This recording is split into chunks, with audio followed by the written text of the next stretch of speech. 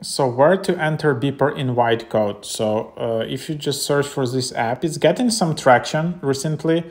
This is like a universal messenger where you can combine basically all messenger apps in one app, like WhatsApp, Telegram, Facebook Messenger, everything in one place. If you sign up, you're just on the wait list. But uh, if you sign up through the desktop, like if you just go through their website and download like uh, and then you sign up through through the desktop app, then you will be able to enter referral code. Otherwise, you're like 66,000 in the line. You can skip the line with a referral invite from someone you know. Do you have referral code? And then you just enter that.